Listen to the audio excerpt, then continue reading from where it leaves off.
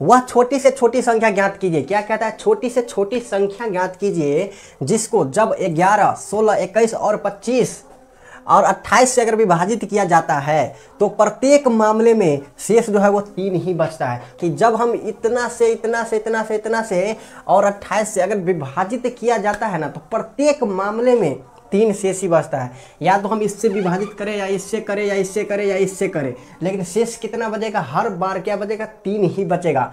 तो कहता है तो देखिए इसका सोल्यूशन कैसे करते हैं? ध्यान से समझिएगा, ठीक है? और हर बार आइएगा मत। एजुकेशनल वीडियो है तो थोड़े से आप लोग आराम से देखिएगा तो बहुत ही समझ में आएगा। बस रुकावट नहीं होना चाहिए, ठीक है?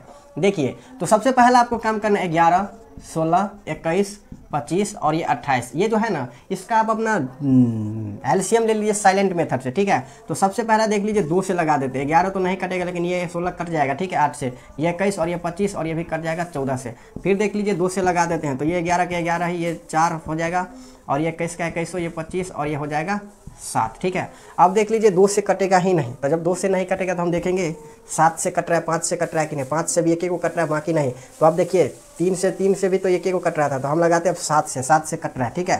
तो ये ग्यारह के ग्यारह, ये चार के चार और सात तिया हो जाएगा ये, और पच्चीस का पच्चीस ही रहेगा और सात का सात ये भी कट जाएगा। तो आप कोई कटने वाला है नहीं तो आप तो गुना ही करना पड़ेगा, कोई इधर उधर चौड़ा नहीं है। इसका देख लीजिए, एलसीएम कितना आएगा?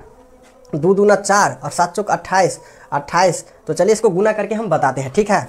इसको अगर आप गुना करिएगा ना तो आपका आ जाएगा बिरानवे हज़ार चार सौ।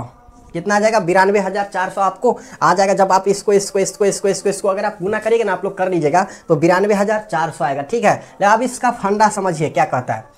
कि हर बार हमको तीन शेष चाहिए भाई, कुछ दूसरा शेष नहीं चाहिए। तो जब हर बार अगर आपको हमको तीन ही शेष चाहिए तो इसके लिए हमको करना क्या होगा? मान लीजिए, अगर अभी हम इस ग्यारह से, ठीक है, इस ग्यारह से अगर हम इस बिरानवे हज़ार चार सौ में भाग देंगे तो क्या होगा?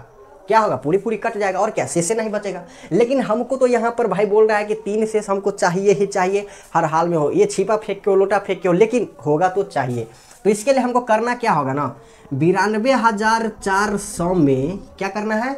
बिरानवे हज़ार चार सौ में आपको सीधा सीधा इस तीन को क्या करना है? जोड़ देना है। तो जब हम अब तीन इसमें जोड़ेंगे तो अब आ जाएगा बिरानवे हज़ार चार सौ तीन और ये आपका फाइनली जो होगा वो आंसर आ जाएगा। क्यों? क्योंकि अब देखिए ग्यारह से अगर आप इसमें अगर भाग करिएगा ना, चाहे आप सोलह से इसमें अगर आप भाग करिएगा ना, चाहे आप इसमें से किसी भी संख्या से आप भाग करिएगा ना तो आपको हर बार तीन शेष आएगा। किसी से भी तीन शेष आएगा। इसीलिए मेरा यही वाला शेष आएगा और यही बोल रहा था निकालने के लिए। तो चलिए मेरा फाइनली बिरानवे हज़ार चार सौ तीन।